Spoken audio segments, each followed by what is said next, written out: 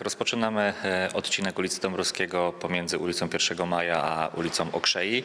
E, No, jest to inwestycja konieczna. E, Wiemy, że będzie powodowała pewne utrudnienia w e, komunikacji i w ruchu. Wszystkie szczegóły tymczasowej organizacji ruchu znajdują się na naszej stronie.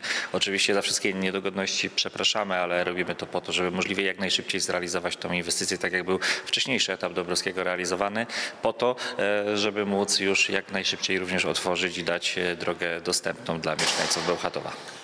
Roboty mają dotyczyć tego, żeby po prostu komfort jazdy e, był e, bezpieczny akurat na ulicy Dąbrowskiego, więc będziemy mieli zakres e, robót taki dosyć obszerny, ale współpracujemy i wykonawcą jest również firma, która charakteryzuje się dosyć sprawnymi remontami w tym zakresie, więc wierzymy, że w tym przypadku będzie podobnie.